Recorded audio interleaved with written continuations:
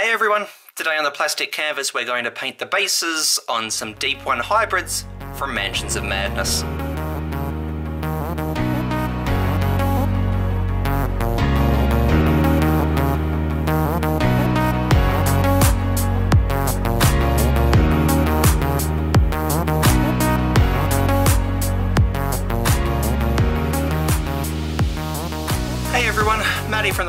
Canvas and welcome to another video on this Mansions of Madness miniature painting series.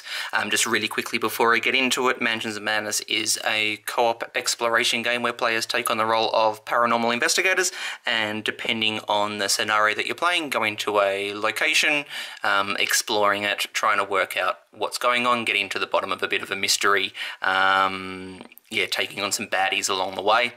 Um, and so yeah, being a horror based game.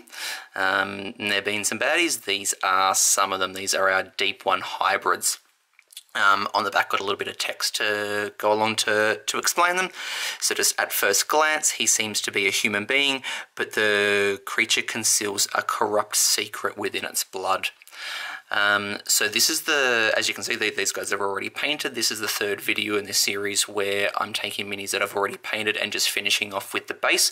And that's because these guys were, were painted up before I started this channel, so I didn't have an, I don't have any footage of that. Um, but I am catching these guys up with their bases. I'm basing um, the other ones as I'm painting them, and I want these ones to tie in thematically. So I'm doing those now. But it's pretty easy to hit record, so I figured I might as well film them to um, give you guys an extra video to, to watch of me painting. Um, so pretty simple process to paint these guys to the point that they are at the moment.